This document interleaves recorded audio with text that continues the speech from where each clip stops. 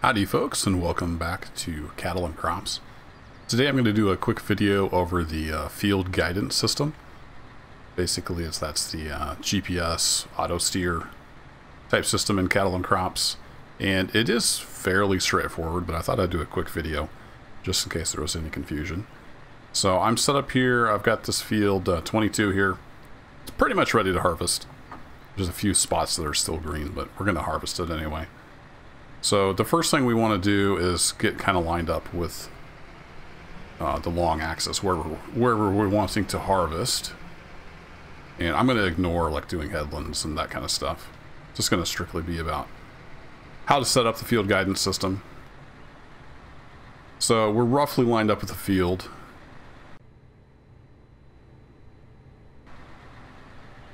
I'm going to push uh, P, which is the default key to bring up the field guidance system. And I'm going to turn on the parallel track. And I'm going to turn on the visibility. You can hide it with the little eye icon there. Hit the refresh button. It'll basically refresh uh, to line up with your current heading of your vehicle. And then if you do that here, make changes, you can reset it back. So it's automatically detected the 9.3 meter header I think that's correct. I mean, it looks it looks good.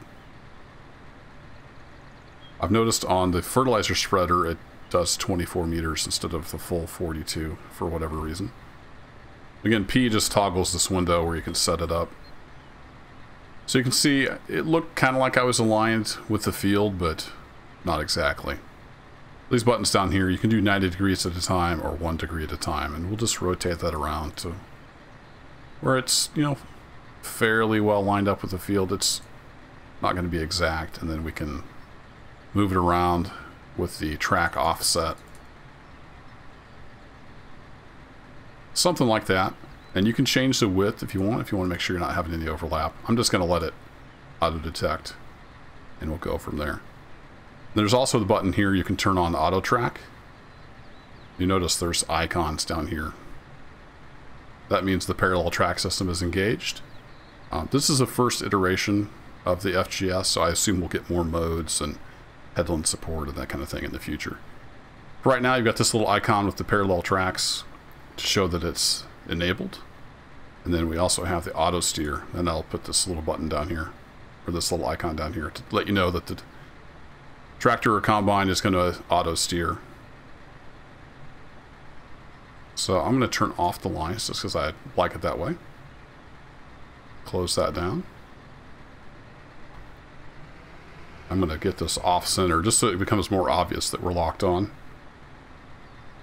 The combine ready to harvest.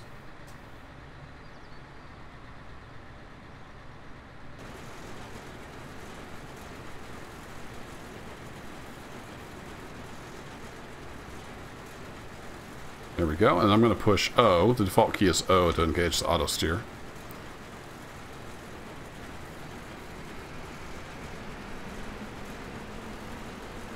And it'll steer along that track.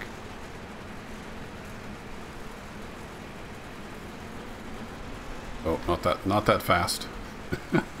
there we go.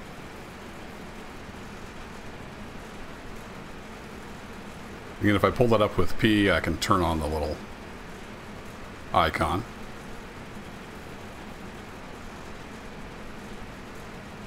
We'll be able to see. I'll leave that on as we do the turn, actually. So I'm not down to the end of the field yet, but let's let's assume you're down at the end of the field. So I'm going to raise the header up. I'm going to turn off the auto steer. Although you can override it when it's on. As soon as you let off the key, it will uh, start trying to auto steer again, so it's a little awkward. So I'm just going to turn it off. Get pointed kind of in the right direction. I'm going to re-engage that auto steer over the header. And this You'll see it here, how it's going to line right back up on that track.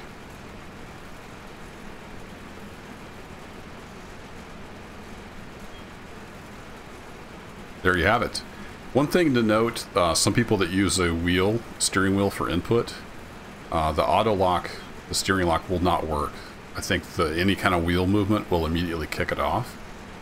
Um, I've seen some people have success with a workaround. If you do have a wheel, just go ahead and provide some steering input with the keyboard and don't touch your wheel. And then the auto lock should lock on. If it's not working for you, give that a try until they get that fixed.